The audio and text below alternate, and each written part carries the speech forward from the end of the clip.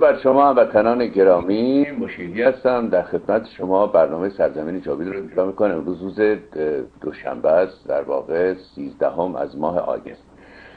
قبل از اینکه پیشتر برویم هموطنان گرامی بنده در عرض می‌کنم که کنفرانس سندیگو نخواهم بود. لطفا توجه بفرمایید. من اصلا دوست ندارم که کسی مثلا تشریف ببرن بعد بگن آقا نیست بعد کسی بگوید که آقا قول داده است و نیامد است اینا نیست. من عرض کنم که با دوست بسیار بسیار عزیز و بسیار بسیار نازنینم آقای فیروزی. تو بودم ببینم. در قول من به ایشان زمانی که آمدن قریب دو ماه پیش خیلی زنی بود. بعد از اینجا زنگ زدم هم به آقای امینی دوست گرامی که زنگ زده بودن هم به آقای فیروزی که اینجا تشریف آوردن عرض کردم میسرش. من بسیار بسیار گرفتار هستم. این است که چون دیدم تبلیغات شده است بایستی تاکید کنم بر این موضوع که بنده در کنفرانس سندیگو نخواهم بود خدمتشون عرض کردم اگر که میسر از توسط اسکایپ یه چیزی که من بتونم چون شما قول اونجا حضور داشته باشم از راه دور در خدمتتون هستم اما فیزیکی اونجا نخواهم بود. بسیار بسیار ارادت دارم. آقای فیروزی بسیار مرد بزرگوار و نازنینی هستن. ای کاش همه ما فضیلت های مرد رو داشتیم و هر سال در سندیگو یک سمینارهایی دارن. در پنج تا از این سمینارها من بودم و بعد دیگه نشد که حضورشون باشم این است خواستم به اطلاع شما هموطنان برسانم. اگر شنیدید کسی گفتن که تشریف می‌برن اونجا و من توصیه می‌کنم که حتما تشریف ببرید. چون شخصیت های خیلی خوبی اونجا هستن و سخنان خیلی خوب هایی شنید اما مخلص اونجا نخواهم بود. اجازه بفرمایید با یه غزل از حافظ بخوانیم در این چند هفته گذشته ما پرداختیم به خواندن از می‌کنم اشعاری از سیمین سیمین بزرگوار و یک غزل از حافظ بخونم اگر چیز اسلامی پیدا کردید به ما هم بفرمایید. بله.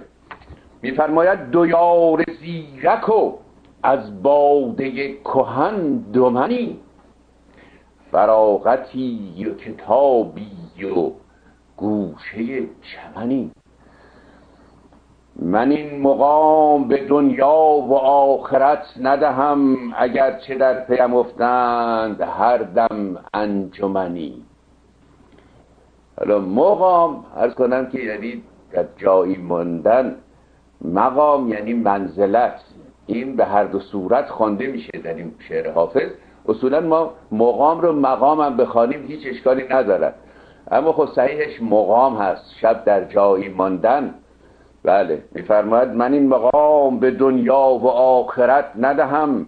یعنی چی؟ فراغتی و کتابی و گوشه.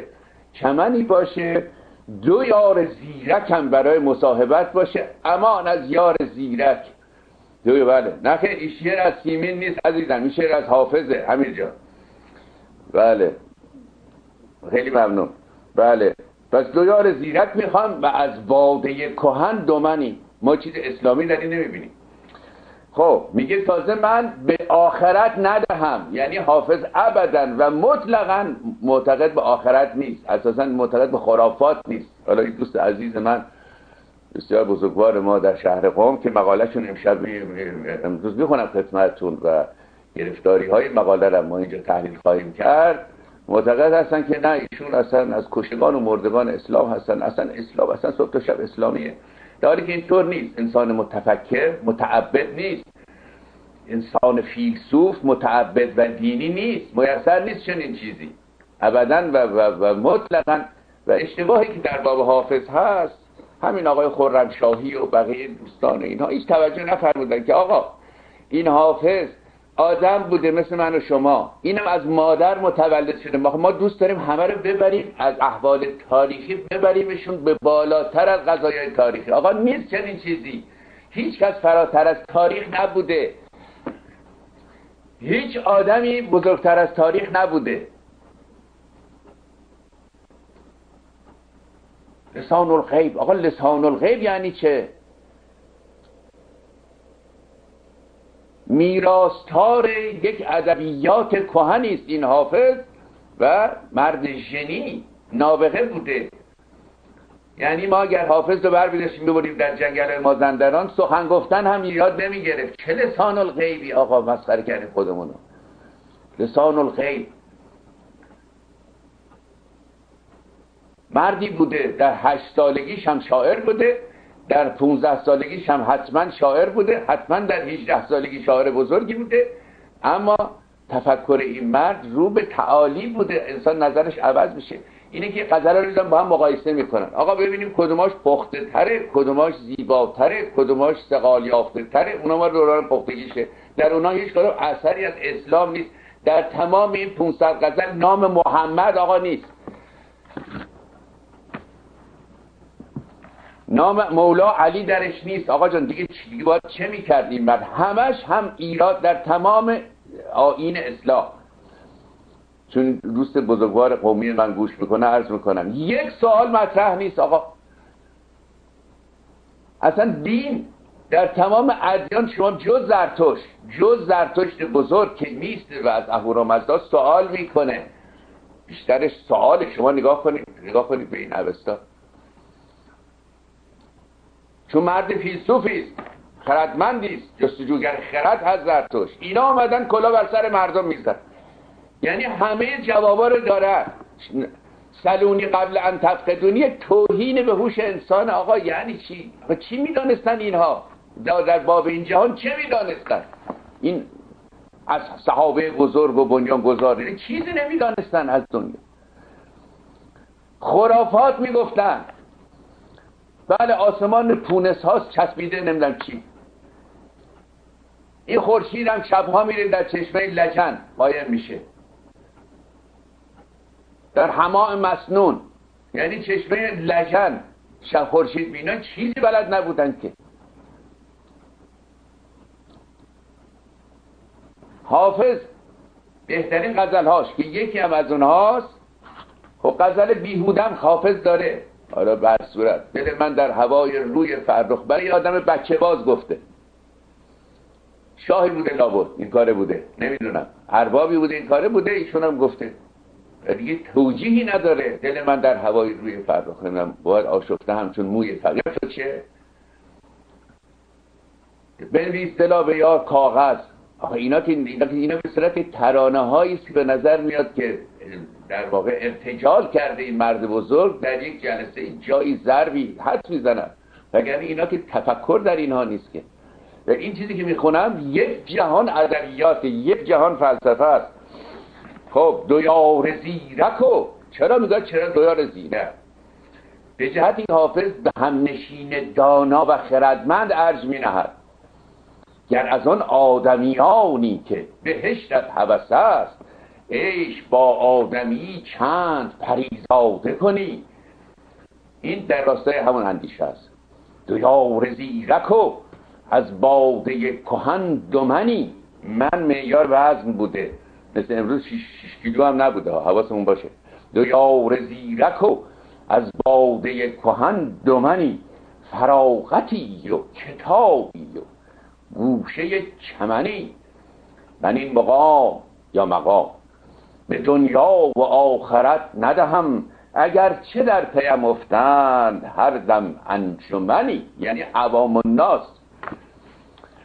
خب هر که کنج قناعت به گنج دنیا داد فروخت یوسف مصری به کمترین سمنی خب معنیش معلومه. بیا که بیا که رونق خواهش می‌کنم اینو معنی بفرمایید. دوست عزیز من در قرب لطف کنید این شعر رو برای من معنی کنید. تشریف برید روی خط چون قرار از خدمتتون باشیم. برای هموطنان معنی بفرمایید. این بیت رو. بیا که رونق این کارخانه کم نشود. بیا که رونق این کارخانه کم نشود. به زهد همچو توی یا به فسق همچو منی. جهان به این عظمت میگه کار خودش رو. ما کی هستیم که با حالا نماز خوندنمون و اطاعتمون تأثیری بذاریم در تشکیلات طبیعت؟ ما کسی نیستیم. اگر ارزشی در ما هست در تفکر در اندیشه است فقط. نه در دین و اینجور مسائل. یا که رونق این کارخانه کم نشود. به زهدی آدمی مثل تو حالا زاهد رو میگه فرقی نمی‌کنه. پیغمبرش می‌گیری تا از من آدم معمول به زهد همچو توی یا به فسق همچو منی. به یک جهان معرفت و آزادگی در این بیت حافظ هست. نظیر نداره یا که رونق این کارخانه کم نشد به زهد همچو توی یا به فسق همچو منی. ببین در آینه جام نقش بندی غیب که کس به یاد ندارد چنین عجب زمنی به روز حادثه غم با شراب باید گفت که اعتماد به کس نیست در چنین زمنی. احتمالا احتمالا این غزل مربوط به روزگاری که اون تیمور نیمتنه خوناشام به شیراز رفته. احتمالا احتمالا. به روز حادثه غم با شراب باید گفت که اعتماد به کم نیست در چنین زمانی. نمیگه به روز حادثه بایستی نمی‌دونم. نماز جعفر تیار خون. خب. زتون باد حوادث نمی‌توان دیدن در این چمن که گلی بوده است یا سمنی از این سموم. که بر طرف بوستان بگذشت عجب که بوی گلی هست و رنگ نسترنی. به سب کوش تو ای دل که حق رها نکند چون این عزیز نگینی. به دست اهرمنی مزاج ته مزاج ده تبه شد در این بلا حافظ. کجاست فکر حکیمی و رای برهمنی؟ برهمن یعنی حکیم دانا و خردمند. خب حالا دو, دو نفر آدم متفکرم که داریم اینا رو باید آخه خراب کنیم ما. باید خرابشون کنیم دیگه. باید خراب کنیم بگیم آقا اینا مثلا حافظم یه آدم مثل باقر مجلسی بوده. آقا پس تفاوتش با باقر مجلسی چی بوده؟ پس چرا باقر مجلسی نمی‌خوانی؟ خب اینم از این موضوع. خب موضوع مهم پس عرض می‌کنم یک بار دیگر که بنده در سمینار سندیگو نخواهم این مطلب رو خواهش می‌کنم. ما رو بدهکار نفرمایید. تشریف برید اونجا. چون من از هم به آقای امینی عرض کردم هم به مهندس فیروزی اینجا تشریف داشتن عروسی تشریف آورده بودن. یه چند ساعتی هم با هم بودیم. بسیار بسیار وجود نازنی نیست. آقای مهندس فیروزی. خیلی خوب. از این هم بگذارم المپیک ها به پایان رسید. تمام شد. چند چیز شایان توجه هست. یکی نقش زنان آمریکا در بردن مدال های طلا و مدال ها به طور عموم و ترازن اول شدن آمریکا در جهان در ورزش. این همه حاصل آزادی است. همه حاصل آزادی است. همه همین حاصل آزادی است. یک دختر 15 ساله رکورد شکست. یک دختری 16 17 ساله میسی. پنج مدال طلا چهار طلا و یک برنز برنز برد. خب حالا در ایران بود چه کار می‌کردیم؟ از بچگی که این دختر به دنیا میاد تفاوت ها هست به خصوص در جامعه عرب و هندوستان مد حالا خوشبختانه در ایران یا ایران هم هست اما حداقل ایرانی دخترش نمیکشته. از ابتدا به این بچه یاد میدن که تو بایستی آماده شوی برای خودت برای شوهر کنی. شوهر. سیغه. این ادبار و نکبت بایستی یک روزی آقا تمام چند سال چند قرن ادبار چند قرن نکبت چند قرن به سر زنان کوبیدن چند قرن بردگی زنان. پیشنهاد اسلام برای زن یک نوع روسبیگری است. روسبی مرد باستی باشی. روسبیگری آقا. من بسیار بلند عرض می‌کنم. نگاه اسلام به زن یعنی در واقع پیشنهادش به زن رای روسبیگری رو پیشنهاد کرد. خب البته اعمالم شده است. یه دختر بیچاره هم از عربستان سعودی بود حالا به هر صورت برای اولین بار خود این خیلی چیز بزرگی است یک مدال برونز به افغانستان بردن. ببینید چه جشنی گرفتن چقدر قضیه اهمیت داره. یک ملتی به نشاط آمد و حس غرور کرد و حس کرد با با کشورهای بزرگ جهان همتراز شده یا حداقل لمسی از بزرگی داره. یک مدال برونز و چیز قابل توجه دیگر آنکه ایران بسیار خوب درخشید. من می‌بینم از کنم طرفداران استبداد اصلا خوشحال نیستن نامی هم نمی‌برن. آقای علی خامنی هم چیزی نگفته. من شنیدم 25 تا قهرمان آوردن. 12 تا ملی مایه مباهات هر ایرانی است. من یادم میاد سال 1976 90 نفر آدم فرستادن از ایران در همون روزگار پوش و 90 نفر دو تا مدال بردن آقا. 90 نفر آمدن دو تا مدال. یه برونز بردن یه نقرم که بنده به یاد دارم دیدم چون. منصور برزگر کشتیگیر بسیار بسیار نامدار ایرانی. یه نقره برای ما آورد یه برونزی هم گرفت.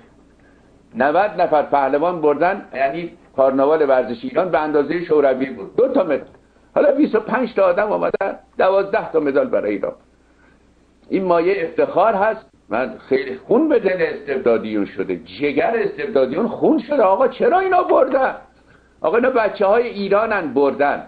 یکی از اینها نمی‌دونم سبزی فروشه. یکیش نمی‌دونم ساندویچ فروشه. شما فکر نکنید اینا ماموران جمهوری اسلامی هستن. اینا بچه های ایران هستن با خون دل. اینا. باری هر شود که چون سخن بلند ببینید سخن ما چه بوده هموطن. حالا گفت که انسان امروز هست فردا نیست. همیشه من این سخن سعدی رو اینجا تکرار می‌کنم. کنونت که امکان گفتار هست بگو یک برادر به لطف و خوشی. آدم میفته میمیره. ممکنه حرفاش نگفته. حرفای ما چه بوده آقا در این. اصلا مقصود ما نقد اسلام چه بوده؟ ما با اسلام دشمنی داریم؟ آقا دشمنی با چیزی نداریم. اسلام یه دینی است مسیحیت یه دین دیگری است بیدینی خودش یک دینی است هندوها هستن هزارها دین هست. ما اینجا خدمت شما در نقد استبداد و در نقد دین منظور ما همین نگهداشت انسانیت بوده. انسان و حقوقش انسان و حقوقش یعنی یک بچه که در کردستان از یک خانواده نمی‌دونم کشاورز دنیا میاد. یا در تهران از یک خانواده نمی‌دونم باربر و یک کارگر رفتگر به دنیا میاد. حقوق انسانی این برابر است با اون کسی که در خانواده شاه به دنیا می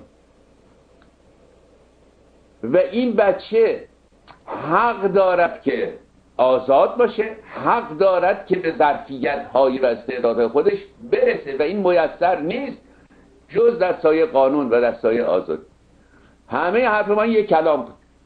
اون چی در باب اسلام گفتیم. چون اسلام حد می شود که دین مساوات نیست گرفتاری اینجاست. احوال بربریت بر احکامش حاکم هست خب. خب حالا عرض می شود که ما چون المپیک هست مناسبت داره. اتفاقا چیزی که می‌خوام بگم بنده از تماشاچیان بودم.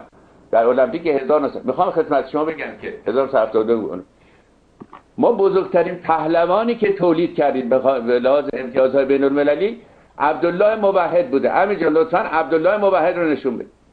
آقای عبدالله مبهد این بزرگترین ورزشکاری بوده که ما تولید کردیم.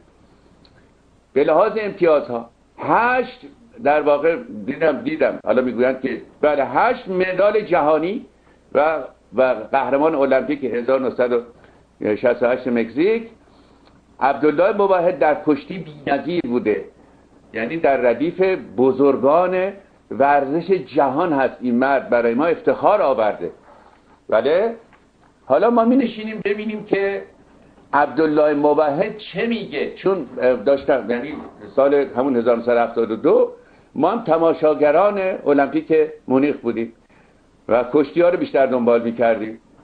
حالا اتفاقات جالبی افتاد از کشتی گرفتن دیتریخ آلمانی و تیلور. اون عکس تیلور رو لطفا نشون بدید یک از حوادث شگفتانگیز و مشهورترین حرکت کشتی در جهان. این حرکت دیتریخ بود و تیلور. لطفا عکس نشون بده هموطنان ببینن. هیچ عکسی در تاریخ ورزش در تاریخ کشتی به انداز ملاحظه کنید یک آدمی که نصف اون دیتریخه ولفرد دیتریخ یکی از بزرگترین کشتیگیرای آلمان این قول آمریکایی که 22 سالش بود و 420 پان بود سالتو به قول کشتیگیرا بلند کرد و چون نمی‌شد زیر گرفت نمی‌شد زیر یه هم گرفت به قول کشتی نه زیر دو هم یک قول گوشتی هولناکی بود. ببینید چه کرد این بعد این در واقع یادگار المپیک مونیخ هست و هر شود که این عکس بیشترین حرف ها و سخن ها و افسانه ها در این باب ساخته شده. حالا من داشتم نگاه می‌کردم به افسانه ها و این مشهورترین عکس داره. کشید در هم المپیک 1972 مونیخ در این وضع ما دوست گرامی فیلابی رو داشتیم. ببینید این چه می‌کرد. به محضی که می‌رسید طرف رو پرت می‌کرد. این آقا 22 سالش هم بیشتر نبود. این آقای کریس تیلر در 400 415 16 پوند وزن در 29 سالگی هم در خواب فوت شد. خیلی ممنون عزیزم. باری ما اینا رو داشتیم نگاه می‌کردیم. 1972 من در تبریز هستم. ما در این وضع در وضع فیلابی رو داشتیم. مسلم اسکندر فیلابی از پهلوانان به نام خودمان. بله که امروز هم فکر کنم در واشنگتن هستن در آن همه و جمهوری پربرکت اسم ایشون از تاریخ ورزش هست کرد حالا بمانم. الکساندر مدویر رو داشتیم که داشت برای المپیک چهارم طلای چهارم رو می‌گرفت و امتیاز گرفت از همین آقای تیلور. با فیلابی هم کشتی گرفت که ادامه نیافت و عرض می‌کنم که کشتی واگذار شد به ایشون و عبدالله موحد رو داشتیم. ما هم نشسته بودیم کشتی موحد رو نگاه کنیم. بعد در همون حرکات اول نمی‌دونم شانه چپشون بود یا شانه چون دست گذاشت اینجا و کشتی ادامه پیدا نکرد و تمام شد. و بعد عبدالله موحد از جمیع فعالیت ها محروم شد و ممنوع الخروج. حالا شما خودتون بزنید جای آقای عبدالله موحد. بزرگترین افتخارات ورزشی تاریخ رو برای مملکت شما آوردین وارد ایران میشه ببینید ممنوع الخروج هستین. از همه فعالیت هم شما رو کنار گذاشتن. می‌خوام اینجا خدمت شما بگم که وقتی استعداد هست استعدادها که رشد می‌کنه سهل است که استعدادها هم اگر دستبوسی نکنن سرکوب میشون لطفا پخش کنید. مصاحبه این پهلوان ما این قهرمان بزرگ ما عبدالله مبهد که به چیزها می‌گفتن. استوره است مبهد نابغه کشتی چنین چنان. حاصلش همون از زبان خودش بشنوید که از زبان من نباشد. لطفا خودشون صحبت کردن با وایس امریکا و داستان المپیک و غیره توضیح دادن. خواهش می‌کنم از دقیقه سوم چهارم امیر جان مصاحبه این مرد بزرگ رو پخش بفرمایید. درست با درود بر شام وطنان گرامی. در هر کشوری که عبدالله موحدی بود آقا مجسمهش ساختن. جام قهرمانی به نامش کردن. ما در روسیه انواع اقسام همون روسیه کمونیستی قدیم. و ترکیه و جاهای دیگه ببینیم جام ها به نام پهلوانان بزرگ اون مملکت بوده کشتیگیران بزرگ. و عوضی که ایشون به ایشون میدون بدن. آقا شما چگونه مدال های طبیعه به بچه های ایران یاد بده؟ دستبوسی نمی‌کرده معلومش کرد. حالا بیان چهار تا فوش هم به عبدالله موحد بدین دیگه آقا جان. موحد چه حقی داشته آقا؟ هشت مدال طلا برای مملکت ما آورد. معروف ترین کشتیگیر ایران عبدالله مبهد در زمانی هم که ایشون می‌گرفت در وزن ایشون آدمای خیلی بزرگی در جهان بودن. در ترکیه در بلغارستان در آم... همین آمریکا. گیبلی بود. نمی‌دونم در روسیه چه کسانی بودن. ناماشون فراموش کردم. یعنی در این وضع بیشترین رقابت ها در وزن همین 68 کیلو عبدالله مبهد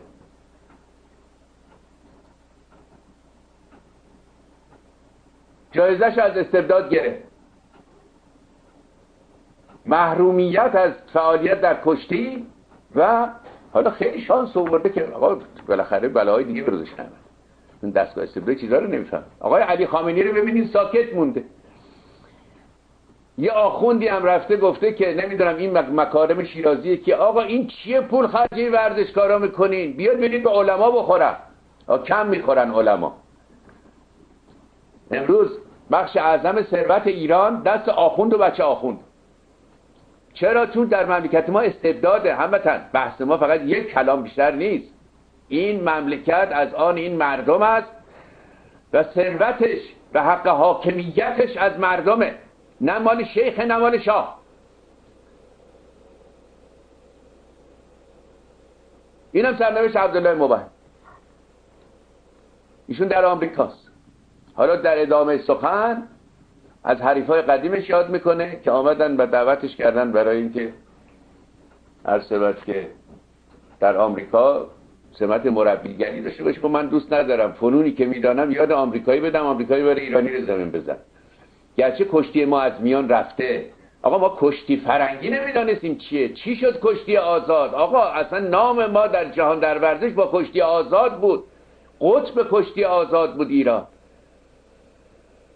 تکواندو. خیلی خوب. تلاش خیلی خوب. ولی چی شد کشتی آزاد؟ آقا این تک کشتی آزاد چی شد؟ بازن تا این آخر آخرا بودن. این آقای رسول خادم و برادرش اینا.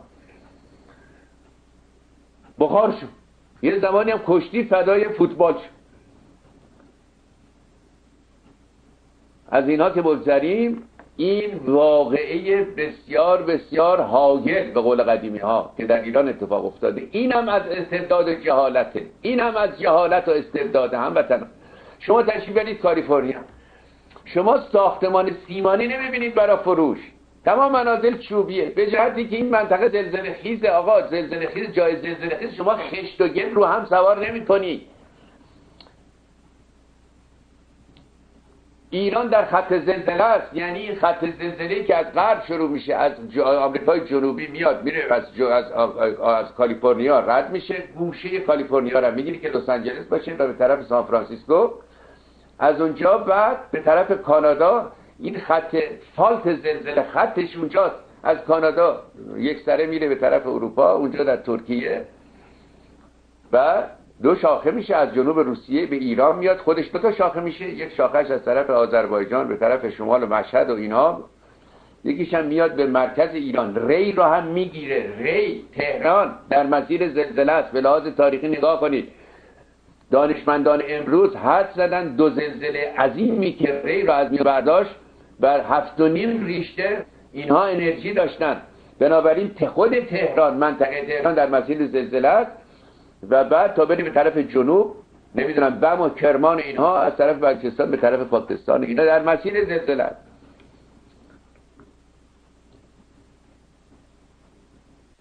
این, این, این کارها کار دولته که معلوم بکنه آقا ساختمان سازی در فلان منطقه به لحاظ وضعیت زمین شناسی چگونه است؟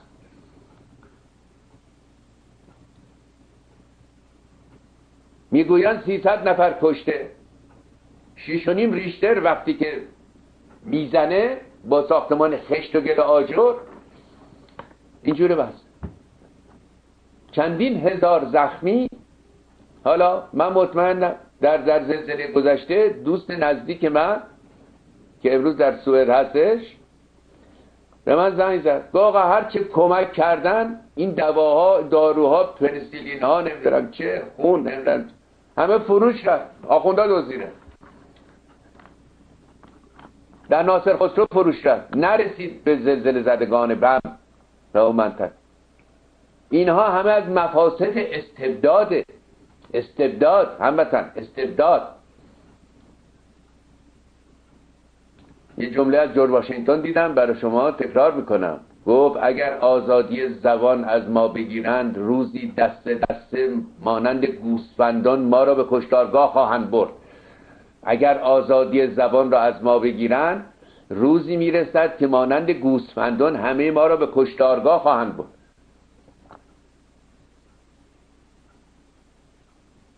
سه میلیارد ثروت مردم رو دزدیدن. یه توپی علی خامنه ای زد. به روزنامه ها همین روزنامه های تقلبی که داره.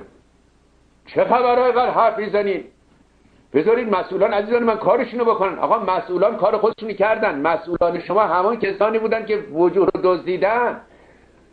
حالا برای مالکشی یه مسئولان دیگر هستن. هر روز بایستی تبلیغ کوبیده می‌شد در این جرایه. نام ها بایستی پاش می‌شد. اما دستگاه استبداد که اجازه نمیده چاقوکش میفرسته. روزنامه نگار بیچاره من می‌تونه حرف بزن ثروت خود مردم در جیب چاقوکش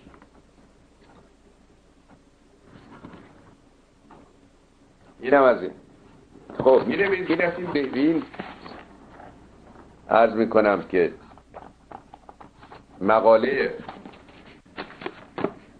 مشبع و مبسوط دوست عزیز و دانشمند ما از قوم براتون می‌خورم. خب من مطمئنم این دوست عزیز من مرد فرزانه است انسان بزرگواری است. حتما انسان سلیم و نفس و خیرخواه و نیکوکاری هم هست مؤمن به اسلام هم هست درود بر اما مقاله ایشان از نظر ایشان برداشت ایشان بوده از اسلام بدون توجه به قضای تاریخ. حالا من می‌خونم مقالطات این مرد محترم. قرار شده است که ما با ایشون صحبت کنیم ایشون بیاد و از ما انتقاد بکنه. در زمینه حافظ و اسلام من خیلی مقدم میگم به ایشون. امیدوارم هفته آینده بتوانیم با ایشون صحبت. خب من می‌خونم خدمتتون به سرعت در این وقتی که باقی مون بله بسم ای تعالی.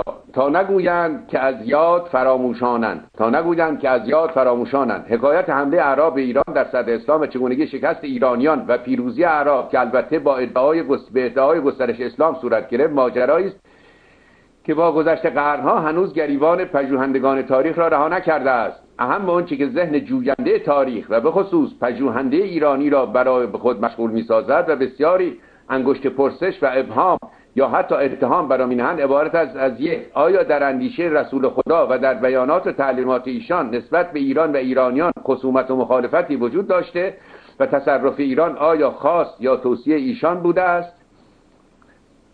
دو جنگ هایی که در زمان خلفا انجام شد آیا مطابق موازین و آموزه های اسلام صورت گرفته است؟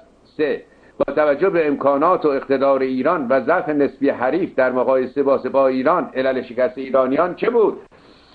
پرسش کنندگان سوال اول در تایید پرسش خود از جمله به نکات زیل اشاره می کنند اشاره به آیاتی از سوره روم و اینکه مسلمین از شکست اولیه روم و پیروزی ایرانیان آزرده شدند و خداوند با نزول آیاتی به آنان مجده شکست ایران از روم داد خب مقالطه اول اینجا مقالطه خداونده. آقا خداوند هرگز مجده به کسی نداد. دوست عزیز امروز دیگه تاریخ نویسی مقاله نویسی اینجوری نیست.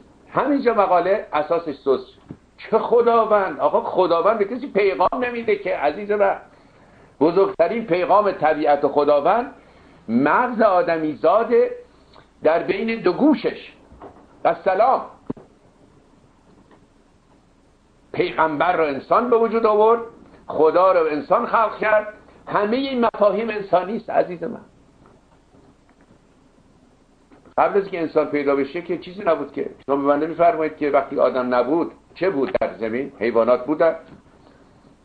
گاو می گاو میشا و گوزنا نه نه پیغمبر داشتن نه چیزی بود نه عرض می‌کنم نه مفهومی نه می‌دونستن که گاون نه نمی‌دونستن که گوسفندن بودن.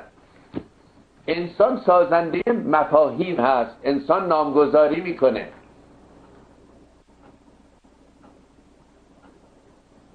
انسان متر یونیورسه. انسان معیار جهانه. همه چیز رو انسان نامگذاری. تا شما دید خدا کلش از آسمون بیرون بکنه بگه آ من خدا هستم به زبان فصیح عربی. یهودی ها را بکشید. کفار را قتل عام کنید. کفار حربی. اینا رو آدما ساختن. بنابراین از همینجا مقاله به نظر من سوس شد که خداوند میفرماید اساسا چنین چیزی رو انسان جدید قبول نمی‌کنه. آقا خداوند هیچی رو نفرموده. نه کتاب فرستاد خداوند نه خداوند پیغام به کسی داده نه پیغامبر داشته. اینا همه تو این بخش این میانه چند چند چند صد کیلومتر بین عربستان و قاهره همه اتفاقات اینجا افتاد. چرا جاهای جهان دیگه خبری نیست از این حرفا؟ چین وسعتش و جمعیتش برابر کل جهان اسلام یا بزرگتر؟ هیچ پیغمبری چرا نمده اونجا آقا؟ هند ژاپن؟ خب پس, پس تا به مرزی گفتیم خداوند تمام شد کار. دیگه جنبه تحقیقی از میان رفت عزیزم. دوست عزیزم آقای نخعی. خب خب. موبایل خب. اینا رو میشه قبول کرد. اینا رو می‌شود شما به عنوان یک فرد شخص می‌توانید قبول کنید که پیغمبر بوده خداوند آیات فرستاده برداشت های خود. اما اینها در در دایره علم که روز به روز بزرگتر میشه به معنی می‌رسه به دایره علم. برگشت می‌کنه. درست مثل که یک چگونه هستن توپ لاستیکی بزنیم به دیوار سیمانی. پرتاب میشه میره تمام میشه. دیگه تحقیق تمام میشه عزیزم خب. یه خداوند بله. خب. شکست و خداوند با نزول آیات تمام شد اینجا دیگه داستان. به آنان مجده شکست ایران را نه آقا.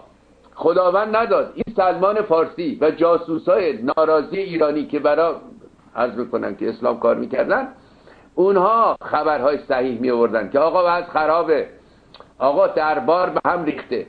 آقا شاهی دیگر نمونده یه مش دختران آمدن اون زمان هم برای زنک ارزش خال نبودن که. آمد می‌گوید کار عجم سخت سست است. روزی که عمر خواست سپاه جمع کنه کسی جرأت نمی‌کرد فکر خودش بکنه که بیاد با ایرانی جنگ بکنه. یه باش آدم بیابانی. چگونه با این امپراتوری جمع کنه؟ عمر رفته در مسجد به نست سریح تبری و دیگر باور خان که گفت کار عجم سخت سست است. از کجا آورده بود؟ خداوند بهش گفته بود؟ جاسوس ها گفته بودن. بنابراین خداوند چیزی نگفت. اون جاسوسایی که واسطه اتصالشون این سلمان فارسی بسیار بسیار خائن و رزم بودن اینا خبر می‌دادن. یک کسی هم مینوشت می‌گفت خداوند گفته این حرفا رو. خیلی خوب.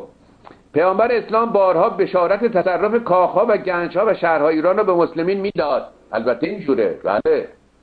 وقتی خندق میکندن یا گودال میکندن. در همین دیوارای دو پشت دیواره منه می‌گفت شنیدم شنیدم. بر شما واجب شد. چی رسول الله چی شد؟ صدای گشودن دروازه های مادران رو شنیدم. شما این خندق رو بکنید. سرقت این اموال مال شماست. این تاریخ دیگه عزیزم دیگه. نه که من در نبردم از خودم. آقا هیچ چیز من از خودم اختراع نمی‌کنم این تاریخ خودشونه. فرمود این اولین بار است که عرب, عرب از عجم داد ستاند و این به خاطر من بوده است. دعوت به اسلام و ارسال نامه از سوی پیامبر به خست و پرویز دلیل دیگری است که نشان می‌دهد پیامبر در اندیشه گستر اسلام به ایران بوده است. اما پیش از پاسخ به موارد فوق لازم به یادآوری است که در توضیحات آتی هیچگاه لزوما اعراب را معادل اسلام و حکومت ایران ساسانی را معادل مردم ایران نباید دانست پیشگویی قرآن در مورد پیروزی بعدی روم بر ایران و شادمانی مسلمانان عرب حتی به فرض صحت به هیچ وجه نمایانگر خصومت اسلام و پیامبر با ایرانیان نبود. اما علاقه به نابودی حکومت فاسد ساسانی. آقا دی حکومت فاسد ساسانی حکومت ساسانی از حکومت اسلامی که دیگه فاسدتر نبود که دوست عزیز که. چه حکومت فاسدی بود که 450 سال بزرگترین امپراتوری منطقه بود. و همه نشانه داریم که ثروت در ایران بوده گسترش داشته نعمت بوده. خب ببینید مورخ برچسب نمی‌زنه. مورخ مورالیزه نمی‌کنه. مورخ فاسد به کار نمی‌بره. خب می‌گوید حکومت ساسانی بعد نشانه های فساد رو می‌تونی بیه اما برچسب از, از اینجا پیداست که از همینجا پیداست قلم این دوست محترم بزرگوار ما می‌خواد از اسلام مالکشی بر اسلام برای اسلام و خارنگاشتن و پستنگاشتن مدنیت ایرانی است. خب حکومت فاسد به شرحی که در آینده با خواهیم پرداخت امری نیست که بتوان اون را گناه اسلام و پیامبرش محسوب. احادیث و سخنانی که از قول پیامبر اکرم در تمام موارد و از جمله فتح ایران و و و نقش شده در یک تقسیم بندی قطعی که مورد اتفاق اهل تاریخ است به دو دسته تقسیم می شود. اول احادیثی که چه در زمان حیات رسول خدا. حالا من اینو می‌خونم بعد ثابت می‌کنم چگونه این همه مغالطه است. یعنی تقسیم بندی جهان به کفر و اسلام خب این دیگه در بطن اسلام مرکوزه کسی نمی‌تونه یا باید اسلامی باشی یا اهل کتاب باشی یا بکشنت یا مسلمان بشی یا اینکه از بین بری. این دیگه قانون اسلام این قانون من نیست که عزیز من مورخان کارو نکرد خب. احادیثی که فلان بعد توسط قدرت مداران و عناصر وابسته به و جهال و مغرضان برای سوء استفاده از نفوذ کلام رسول خدا و یا تخریب آرا و اندیشه ایشان جعل و ارائه شد و البته این سخنی است که بدون استثناء اهل فن به طور اصولی با آن موافقند. بدیهی است که در تبیین اشکال فوق به این دسته اخبار موضوع جعلی موضوع جعلی خردمندان نمی‌توانند و نباید استناد کنند. چنانچه در صحت چنین احادیثی مناقشه باشد باید به احادیث و سیره مسلم و صدور ایشان و مفاهیم قطعی قرآن رجوع شود. مسلم و صدور آقا مسلم و صدور همونایی بود است که به حدیث تبدیل شده. قربونتون برم. اما دسته دوم از احادیث اخبار پیامبر که در مورد ایران نقل شده و در صحت آنها ظاهرا نباید تردید کرد اولا پیامبر اکرم مدعی رسالت الهی برای عموم جهانیان از جمله ایران بوده. و علاقه قطعی به گسترش آیین اسلام در کل جهان و از جمله ایران داشتند و البته چنین علاقه و احتمامی فی نفسه مضموم نیست و نمی‌توان به هیچ متفکر و مصلحی به سبب علاقه به انتشار اندیشهش عیب گرفت. خیلی خوب. این خیلی سخن منطقی است. ثانیا چنانچه پیامبر می‌خواست با لشکرکشی و حمله نظامی به ایران آیین اسلام را گسترش دهد گرچه ظاهرا به طور اصولی معنی نداشت اما توجه به این واقعیت ضروری است که با اون که پیامبر پس از گسترش اسلام در حجاز بالقوه این امکان را داشت که سپاه روانه مرزهای ایران کند خصوصا که بنابر قولی پس از پیروزی مسلمین بر یهود به بنی قریزه معلوم شد که های مکشوفه در نزد یهودیان ساخت ایران بوده که در صورت صحت این خبر از تلاش حکومت ساسانی برای اتحاد با قریزیان و احتمالا علیه مسلمین حکایت بکنه آقا این مطلب رو من تا نشنیده بودم به جدم. حبیب ابن مظاهر این رو من تازه شنیدم البته ایران محل تکنولوژی بوده. قطعا در تجارت که می‌شد بردن آوردن اصله آزاد بوده و اینکه اونجا کش شد که این اصله ساخت ایرانه بنده خیلی تردید دارم من مأخذش ندیدم. حالا ایران هم اینقدر بیورزه نبود که حالا عرض کنم که چهار یهودی اسلحه بده ایرانیا در ایران اونقدر توان نداشت و اونقدر این شاهان دربار پریشان بود که اصلا وقعی نمی نهادن که این چهار تا عرب در مدینه دارن چیکار می‌کنن. اونقدر دماغ اینا سربارا بود که با امپراتوری روم در جمع نه چهار تا عرب جمع شدن در مدینه ایران اسلحه بفرسته که اینا اونا رو. همچین چیزی رو من باور نمی کنم من مثلا سندش هم ندید. و کاش مطلع صاحب صاحب همتی به توضیح این خبر میپرداخت. این خودشون هم تردید داشتی در این کار. ما می‌دانیم که پیامبر هیچگاه به ایران حمله نکرد. فرصت پیدا نکرد. قربونت برم. گرچه برای جنگ با روم و جلوگیری از تعرض رومیان علاوه بر جنگ های موته و تبوک سپاه اسامه را نیز تجهیز فرمود و تا آخرین لحظات حیات توضیح میدن که هر وقت به رومی حمله کردن کودک مفصل خوردن و برگشتن به همین اسامه که بچه گدایی بود در واقع. سبب نارضایی سپه سالان اسلام شده بود. اون چنان کتکی خورد که نگو و هر شود که اون جعفر جعفر معروف تیار هم در جنگ رومیان کشته شد. و اینا حریف رومیان نشدن. گرچه از فلسطین اینها مصر بیرون کردن اونا رو اما امپراتوری روم بر جا بود. خب و تا آخرین لحظات حیات اصرار به اعزام این سپاه داشت و فراموش نکنیم این همان روم است که اشکال کنندگان مدعی هستند که در ماجرای نزول آیات سوره روم مسلمی طرفدار و علاقمند پیروزیانان بودند و البته حل تعارض با مدعیان است. سادسا علاقه ماموریت پیامبر به گسترش اسلام منحصرا به معنی حمله نظامی حتی با رعایت ضوابط اسلامی نیست. بله. در راه های دیگری هم برای گسترش اسلام قابل تصور هست و البته ماجرای حمله عرب به ایران اساسا چیز دیگری است که به آن خواهیم پرداخت. پس استناد پرسشگران به این دست از اقوال پیامبر لزوما به این معنی نیست که برای مسلمان کردن ایرانیان باید فاجعه آفرید که تاریخ از یادآوریان بر خود بلرزد.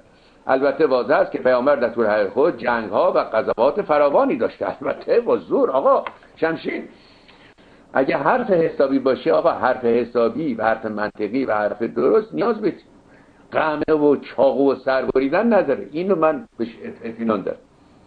کما که ما میشیم از سقراط نقل قول می‌کنیم کما که میشیم از دموکریتوس نقل قول می‌کنیم. اگه حرف حسابی باشه والا به ریش فرخون حبیب بن مظاهر نیازمند چوب و چماق نیست. مگر که حرفتون ناحسابی باشه جامعه نپذیرن و شما بفرمایید آقا از هر طویله نمی‌روید. من شما رو از دم به طویله می‌کنم. این داستان اسلام در مکه. چنین نبوده دوست عزیز. چنین نبوده. فتح مکه یعنی چی؟ شما بیایید هموطن عزیز بزرگوار من در, در ایران زمین حالا ایشون مرد بزرگواری است انسان دانایی است من بهشون خیلی احترام دارم. اما خب این حقایق تاریخ چرا مکه مسلمون نشد آیا اختیار داشتن مسلمون بشن یا اختیار نداشتن که مسلمون بشن؟ جامعه عرب آیا این اختیار رو داشت که مسلمون بشن یا نشد؟ خب نشد. با فتح مکه و بعد جنایات هولناک خالد بن ولی و قتل عام عرب بیچاره از دوم همون کاری که واسه بودنم می‌کردن کارش با تجاوز و تحمیل بوده اسلام. دوست عزیز. بنده نمی‌دانم اگر همین تعلیمات قرآنی گفته می‌شد و این قرآن تدوین می‌شد و توضیح می‌شد پیش بینی نمی‌شود کرد که نفوذ اسلام چه میزان می‌شد. این کاش چنین بود. اما از لحظه ارز کنم که مهاجرت به قول معروف حالا این فرار بوده در واقع. تهاجم و حمله و قتل و کشتار جز لاینفک اسلام بوده تا امروز همین امروز. الا یومنا هازا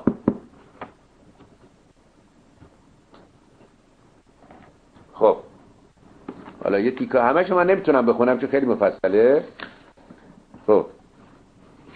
به یقین هر اندیشمندی هر می‌زنند منصفی در چنین حالتی حق و مسلمانان رو پیامبر ایشان میده که در مقابل اینو گوش کنید این مقالطه بزرگی دوست از اینجا که در مقابل شکنجه و تبعید و قصد اموال و حج و توته و شمشی کشی مخالفان از خود واکنش مناظر بروز دهند این آلت دست اسلامیان هست که آقا رسول الله که جنگ نمی‌خواست که.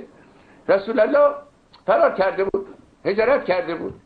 حالا من میارم اینجا دیگه حرف من و شما از حرف تبری دیگه فکر نمی کنم که دیگه در واقع اعتبار بیشتری داشته باشه. تبری دلیل اینکه این جنگ های خون شروع شد رو اینجا برای ما بیان کرده در رد فرمایش این دوست محترم. بنده از صفحه عرض می شود که 93 تاریخنامه تبری که فزون بر هزار سال پیش تحریر شده. می‌خونم خدمتتون که اینا چیست کسی به پیغمبر کاری نداشت. وقتی ایشون مراجعه کرد اینقدر اینا خوشحال شدن. اهل مکی که ما راحت شدیم خوب شد رفتن. اما چنین نبود. خب. خیلی خوب. چون پیغمبر علیه السلام از مکه برفت این در جواب کسانی است که میگن که اونا به اینا حمله می‌کردن. مطلقا و ابدا چنین مطلقا و ابدا چنین نبود. چون پیغمبر علیه السلام از مکه برفت مکیان گفتند که ما برستیم یعنی حس راه گفت آه راحت شدیم آقا راحت شدیم.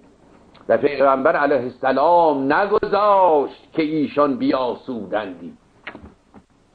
این عبارت تاریخ رو هیچ کس نمی‌توان مخدوش بکنه به جهت اینکه با داده های عینی مطابقت و پیغمبر علیه السلام نگذاشت که ایسان بیاسودندی. و خدای عزوجل خوب توجه فرمایید و خدای عزوجل او را بر قصد دست گشاد کرد و جهاد فرمود و چون به مدینه آمد آیت فرستاد و گفت اقتل المشرکین حیث وجدتموهم و حضوهم و حسروهم بگیرید بکشید محاصره کنید. پاش به مدینه نرسیده؟ میگه داستان به کل یه گونه دیگری شد. و خداوند تبارک و تعالی آیت فرستاد. آیت فرستاد تفسیرش اینه که تصمیم گرفت که حالا که ما رو بیرون کردن ما می‌کشیم جنگ می‌کنیم قارت می‌کنیم محاصره می‌کنیم. در مقابل چی؟ در مقابل نوشته است که در مقابل بله به یقین هر منصفی در مقابل شکنجه و تبعید و قصد و اموال و حجب و توطعه و شمشیر کشی مقابل از خود با خونش مناسب بروز تأکید می‌کنم آقای نخعی که حتی یک مورد به استناد طبق معتبر وجود ندارد که عمل پیامبر مسلمان در اقدام به جنگ و قتل و گرفتن اموال مخالفان و آقا این حرفا رو نزنید عزیز من قربونتون برم. آقا شما مرد مرد محترمی هستی آقا این این ماله رو بذارین زمین حقایق رو ببینید آقا این آیات قرآنی برای چیست؟ 527 آیه در تحریز به آدم کشی و قتل و غارت اومده. اینا از کجاست؟ با, با حرف من شما تاریخ عوض نمیشه که. خب می‌خونم. و این دو عبارت هولناکترین عبارات راجع اسلام هستند من از نو می‌خونم. که در ذهن همه شما هموطنان بماند و شما بزرگواران بدانید که چه گذشته. چون پیغمبر علیه السلام از مکه برفت مکیون گفتند که ما برستیم. و پیغمبر علیه السلام نگذاشت نگذاشت که ایشان بیاسودندی. یعنی اون مزاحم اینا می‌شد. و خدای عزوجل او را بر قصد دست گشاده کرد و جهاد فرمود و چون به مدینه آمد این آیت فرستاد. اقتل المشرکین تا آخر. و آیت های جهاد و آیت های جهاد بفرستاد. پشت هم دستور قتل و جهاد صادر می‌شد. و آیت های احتمال احتمال یعنی تحمل. و آیت های احتمال و صبر منسوخ کرد. گو آقا ما دیگه صبری نداریم. تحمل هم نمی کنیم فقط با شمشیر. میریم جلو. اینا نه بنده نوشتم نه پدر بنده نوشتم نه کفار نوشتم. مهمترین و بزرگترین و امینترین مورخ تاریخ اسلام محمد ابن جلیر جلیر تبری همشهری عبدالله خان موحد در قریب 1100 سال پیش یا بیشتر قریب 1100 سال پیش. خب حالا حالا ادامه می‌خونم تا در واقع درست نبودن سخنان دوست عزیزم بر شما چون ما شوخی نداریم در این موارد. یعنی قضایا هیچ شوخی نداریم تعارفات من برایشون بسیار احترام دارم و از خواهش خواهم کرد که بیان و سخن بگیم اما در این قضایشون قضای سرنوشت مملکت ما بوده. قضای انسانی درش مطرحه. خونریزی و سرقت درش بوده. بردگیری بردکشی آدم های آزاد بوده. مدینه بزرگترین محل برده فروشی بوده در دورگار خودش. خب گوش کنید. آیت های صبر و احتمال منسوخ کرد و پیغمبر علیه السلام همان در اون سال هجرت از مدینه لشکر فرستاد. پس کسی مزاحم او نبود لشکر فرستاد. گوش کنید عبارات رو ببینید. خب. و راه ها بگرفت. یعنی آدم میفرستاد راهزنی می‌کردن. سر راه ها رو می‌گرفتن. راه ها بگرفت تا کاروان همی شکستند و همی بردند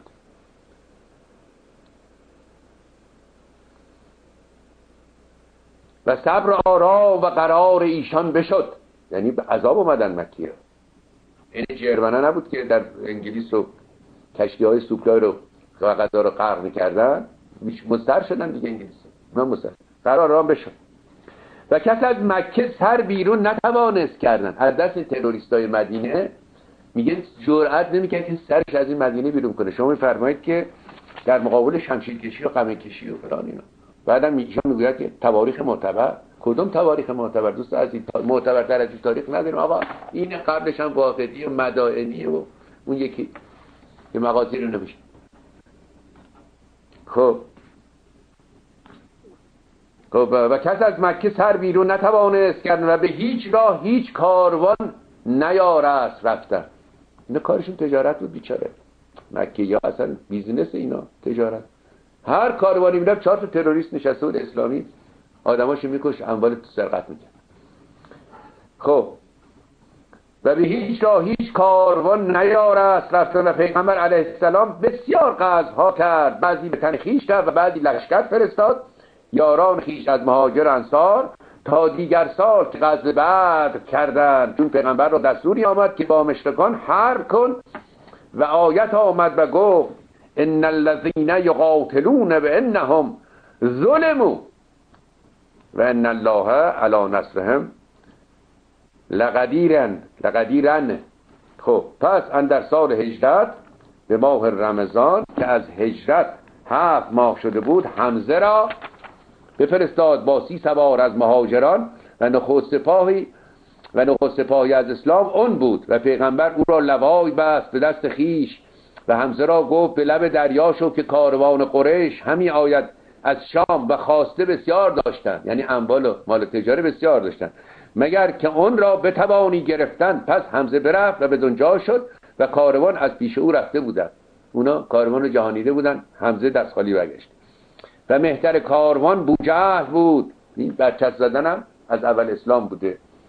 بوجهل بوجهل بود و با او سوار بود و به دنجا دهی بود بزرگ. بوجهل با اون کاروان در ده رفتن و اندران ده مردمان بسیار بودن و مهتر ایشان مردی بود چنین و چنان. اینا. خیلی خوب. خب.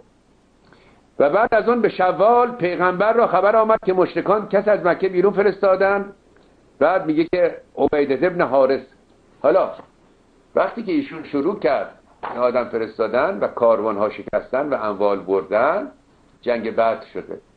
جنگ بعد بزرگان قریش رو کشتن و دو جنگ تا اونجا که ما سراغ داریم. اگه شما نشان نشد داری دوست عزیز و محترم به ما نشان بده ما رو آموزش بده.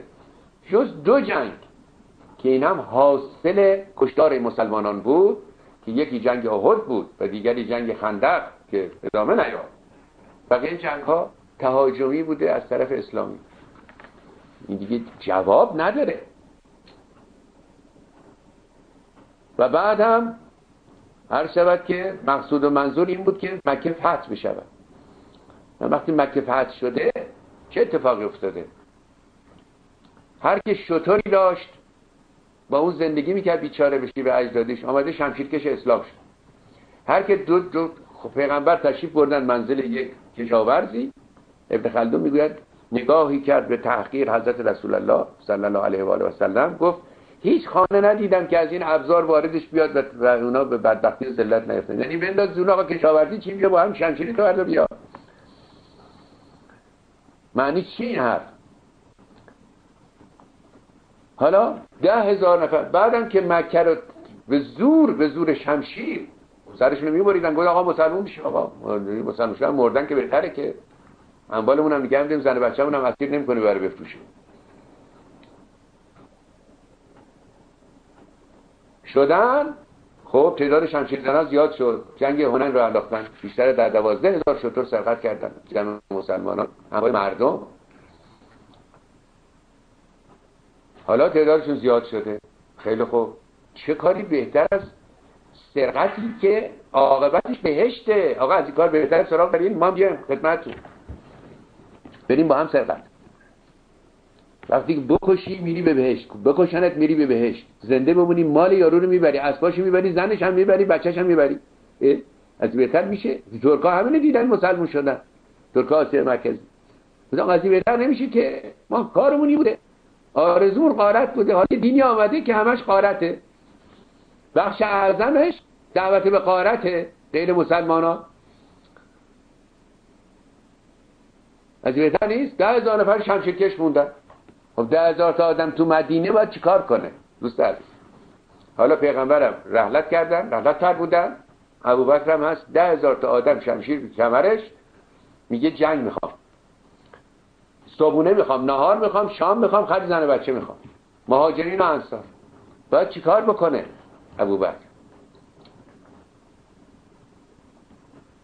دید بنیاد این خلافت اینا دارن آقا کودتا می‌کنه بشه. اینا رو ده لشکر کرد فرستاد با اول برین. چون عربا از این اسلام برگشتن بعد از ده میگن حدیث هست که ایشون فرمود این اسلام مثل ماری میمونه که از مدینه آمده بیرون بعد از مرگ من این مار باز به سوراخ خود به هم جیرم شد. بعد ریختنی در دوازه اول اعراب رو از کراره های دریای سرخ تا همین یمن قتل عام کردن هر کی مسلمون نشده. سه چهار تا پیغمبر پیدا شد سر اونا هم بریدن و خیلی خوب دیگه تمام شد دیگه. آیات هم بود آیات جهاد تحریز به آدم کشی گرفتن اموال. پلاندر به قول برتان راسل میگه برتان راسل می‌گوید که محرک اصلی میگه اعراب اساسا مردمان مذهبی نبودن. و درست میگه اصلا تفکر مذهبی کار عرب نیست. اینا مردمان خوشباش قلاش عاشق طبیعت عاشق شراب و عاشق زن و عاشق پول و اینا بودن. این فیلم لورنس عربستان خیلی خوب فرهنگ عرب و, و روانشناسیش نشون آنتونی کویین رو او ابوتای رئیس قبیله و واقعیت داشت این داستان. چون لورنس کار کرده بود گفت آقا همه طلاها در عقبه است. تو جسه تو قبیلت بیار همه طلاهای عقبه مال تو. قبیلت جمع کرد؟ اومد بیان طلا نیست. حالا این ده نفر بعد از قتل عام چیکار بکنن؟ پس کجا بیارن؟ بخورن. حمله کردن به سرحد روم و ایران. ایرانی که گرفتن دیگه درست شد. یعنی لشکر که می آمد گاو و گوسفندای ایرانی بیچاره رو 5000 تا 5000 تا 3000 4000 تا میقدن سر می‌برن کباب می‌کردن میخوردن که با ایرانیان جنگ کنن. خب حالا من از مقاله ایشون می‌خونم. با این چیزهایی که 100 180 هزار بار ما اینجا خدمت شما گفتیم. خب ببینیم ایشون چی نوشته. به یقین هر اندیشمند منصفی. منصف یعنی مسلمان معتقد به نیکی اسلام. این نظر ایشان منصفی در چنین حالتی حق و مسلمانان و پیامبران ایشان میده تبری رو خوندم که؟ که در مقابل شکنجه و تبعید و قصف اموال اتفاقا خیلی رفتار این عرب با پیغمبر اینا نسبتا ملایم بوده. یعنی کاری نداشت کشتن یه نفر. اما پیداست اینا اهل تحمل بودن اهل تساهل بودن این عرب آدمای بلند نظری بودن از به لحاظ مذهبی کمایی که صد جور بود داشتن تو خانه کرد. کمایی که زرتشتیان می‌رفتن پناه میوردن به همین جامعه عرب. هندوان رومیان یهودیان چون اینا به ادیان مختلف احترام میذاشتن عرب. اما بعد که توحید آمد و این سرکله الله پیدا شد به طور کل تحمل تساهل رفت. کمایی که امروز شما یک نفر یهودی در عربستان پیدا نمی‌کنید. مسیحیش هم خیلی تردید دارم. به کسی را بره بگه من نصرانی هستم. بزرگترین زیانها به لحاظ سیاسی به جامعه وجود این توحید عزیز بوده. توحید؟ یک دیکتاتوری دیکتاتوری هولناک الله بر جامعه عرب. کنه فضیلت های عرب از بین رفت. بارها گفتم خدمت. خب می‌گوید هر آدم منصفی در چنین حالتی حق مسلمانان و پیامبر ایشان می‌دهد که در مقابل شکنجه و تبعید و قصف اموال. پس چرا میفرمایید مهاجرت؟ و و حجم و توطعه و شمشگی آقا سه چهار تا زن هم بودن. و دو تا مرد. دیگه دو تا بیت شعر گفتن. نصف شب آدم فرستادن. شکم اینا رو پاره کرد. یه زن شاعره بود اسبا. داستانش رو براتون خوندم. آدم فرستادن. حضرت رسول الله ایشون خوابیده بود. یه زن. بچه هم رو شکمش بود دو تا بچه کوچیکشم بچه رو برداشت شمشیر شکم زن پاره کرده اون فردا اومدید پیغمبر خیلی تحویلش نگه. رسول الله کار بدی کردم. گفت نه به اندازه بوز فلانی هم ارزش نداشت. این که کشتی. حالا بچه هم مردن به درک در راه اسلام یکی یه یهودی بود. سلام ابن ابل حقیر اشتباه نکنه شعری گفته بود. ایشون هم سر بریدن. کسی نمون همین دشمنیش با ابو یک غزلواره زیباز همسر ابو همین ابو الحکم ابو لحب گفته بود. خداوند تبارک و تعالی خالق 300 میلیارد کهکشان بیاد اینجا فوش زن بچه بده به ابو لحب اینا خدا گفت بابت این به یک شاعرم بغل دستشون که حج کنه آبرو ببره. حسان ابن ثابت. اینا دیگه اینا دیگه مال کشی نداره کار تمام شده خب از خود واکنش مناسب بروزن تاکید می‌کنم که حتی یک مورد به استناد تواریخ معتبر وجود ندارد که عمل پیامبر و مسلمانان در اقدام به جنگ و قتل گرفتن اموال مخالفان. خدا پدرتون بیامرزید اقلا گفتین قتل می‌کرد جنگ می‌کردن و اموال می‌گرفتن. واکنش به اعمال فشار نه اصلا چنین چیزی نبود. نمونهش خود ایران. نمونهش اون جنگ هنین نمونهش خود مکه. خیلی خوب. به علاوه حتی در بحبوه شدیدترین سختگیرانترین جنگ ها پیامبر اکرم گویی که به دنبال دلیل و بهانه برای گذشت بود و با شفاعت و وسادت مسلم به چشم عفو رحمت به مغلوبان اسرا می نگریست خب حالا من امیدوارم که جنگ بعد رو اینجا پیدا کنم. تا من عرض می کنم که ببینیم رحمت چگونه بوده. بله. خیلی خوب. متاسفانه فکر نمی کنم پیداش کنم. اگر پیداش نکردم برای شما خب برای شما نقل قول خواهم کرد. اما بهتره که من پیدا کنم که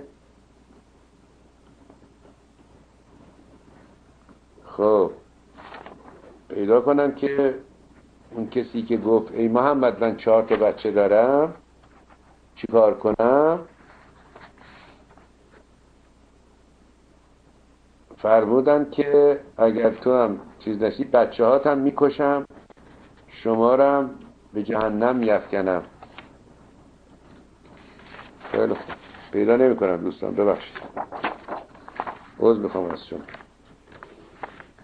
خب.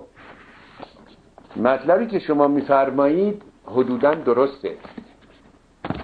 که مجبور بود به هر صورت. بعضی آدمان میوردن برای کشتن که به لحاظ سیاسی اینها صلاح نبود.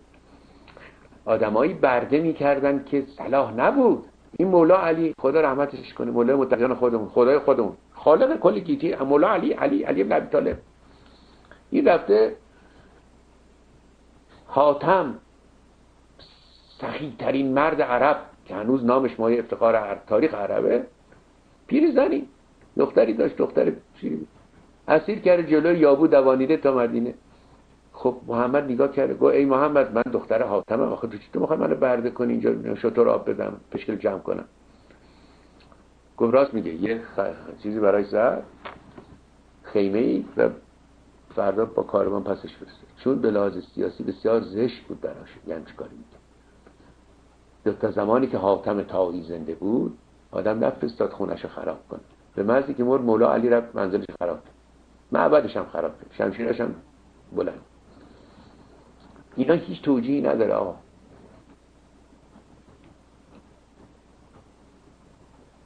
بعد قتل و کشتار و قارت و تجاوز و تحمیل اسلام عزیز همینطور ادامه پیدا کرده تا مرز چین.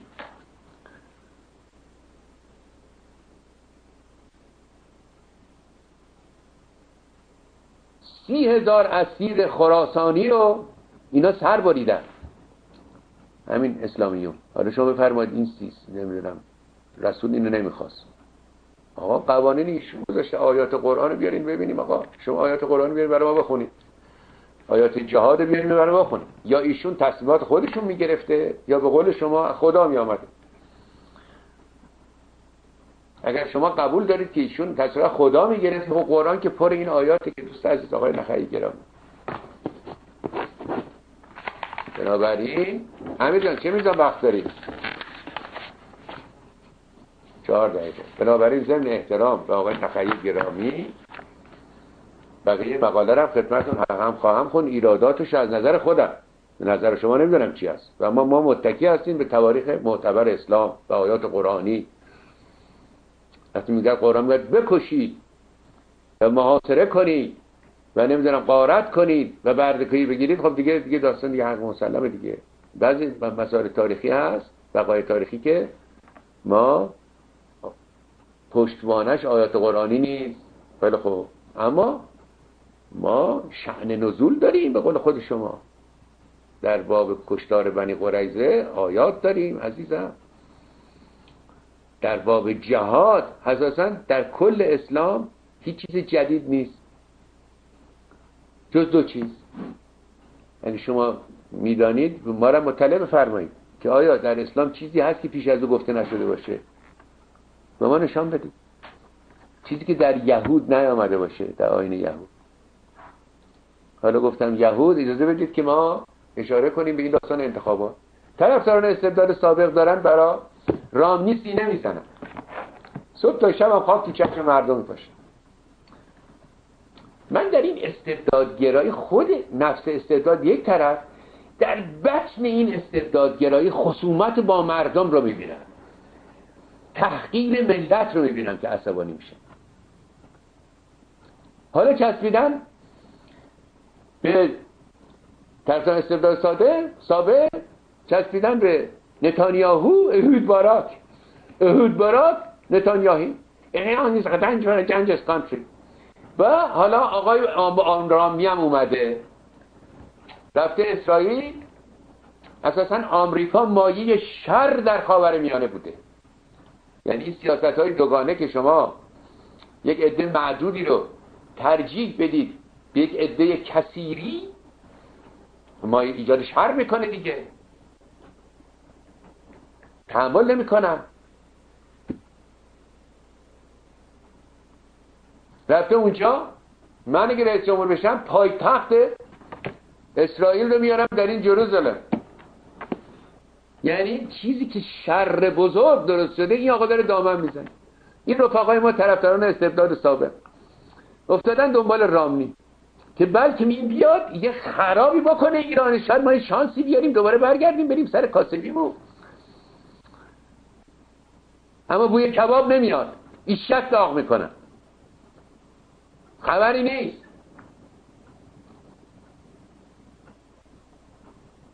رامنی گفته من پام رسوایت ها شروع می‌کنم به بمبارا کف می‌زنن برای رامنی. بلکه ما ایرانی هم هستیم. نوستالژی زور دارن. آقا زور از دست اینا گرفتن نوستالژی دارن. عزیز من این زور رو از دست کسی بگیری؟ دق می‌کنه. نوستالژی زور دارن. آقا از دستشون گرفتن نمی‌تونن ببینن. حالا حاضرن اون مملکت تخریب بشه. همه آدماش هم علیل و زلیل بشن به شرطی اینا برگردن برن در دکون قدیم باز باز بکن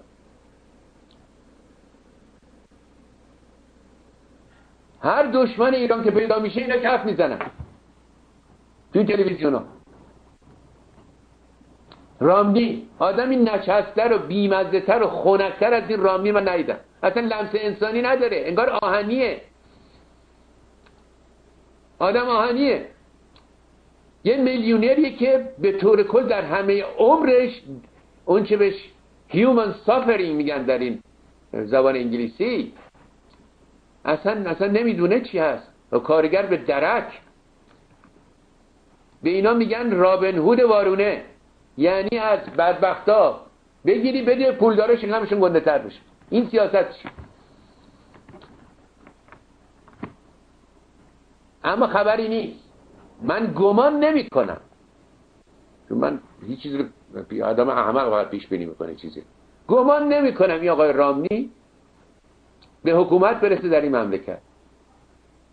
گمان نمی کنم به جهت این که این آقا بدترین سخنورانه اصلا نمی‌تونه کنکت بکنه نمی‌تونه جذب بکنه کسی رو. وقتی سخن میگه به شش مردم نگاه نمی‌کنه. حرفای خنک رفتار خنک. رفته اونجا گفته که من این جروزالم رو می‌کنم پایتخت اسرائیل بعد رفته لهستان. آقای رامنی فکر کنم لهستان بود. امیدوارم اشتباه نکنم. حالا فکر کن یه جای ولی حرف زد. آقای رامنی به سوالا چرا چرا جواب نمیدی؟ یه مسئله تو آمریکا هست یک لنگی هست. عوض می‌خوام از شما. کیس مای هست؟ یعنی بیا مقعد منه ببوس. این بدترین توهینه. این به خبرنگاره اینو گفته. این ایدال این طرفداران استبداد سابق.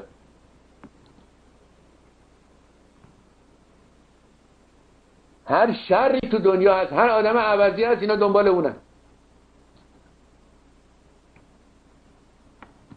یکی دو گروه هستن. اصلا می‌خوام خدمتتون در این سی ثانیه آخر اینو بگم که این گروه های خارج از کشور نسل ما دموکرات از اینا بیرون نمیاد دوستان عزیز. آدم دمو چرا؟ چون تعلیم دموکراتیک ندارن. نگاه کنید آقا هر عقیده پیدا میشه بقیه به این پشت میدن. آقا تو چرا پشت میدی؟ برو حرف خودت بزن. چون ماگه دموکراسی تحمله آقا تحمل. هر کسی هر چی دلش بخواد باید بتونه بگه. پشت میده.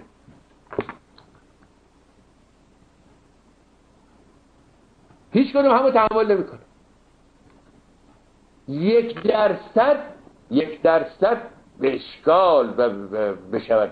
آدم دموکرات پیدا کرد. دموکرات آقا دموکرات میگه تا حرف دموکراسی بزنید حرف دموکراسی چاره دیگه نداری که حرف دموکراسی بزنید نمی‌تونه بگید استبداد چیز خوبیه که. اما در عمل همشون استبدادی هستن. چون تعلیمشون یا انسان های روزگار قدیم یا جز دار دسته مستبدین بودن و امروز یا قربانیان استبداد. این هر دو ذهنیت هر دوش استبدادیه. چون با استبداد عادت کرده و بزرگ فرهنگش فرهنگ روزمرش استبدادی. آخه میشه دسته سیاسی را بیفتی؟ تو به عوضی که عقاید خودتو گسترش بدی به دیگران نفت بکنی. یه چند تا بدبخت هم هستن. واقعا بدبخت اگه بگم کم گفتن. اوردن کشیدن اینا رو تو این رسانه ها بیچاره های مفلوک واقعا مفلوک. اونام دارن کمک میکن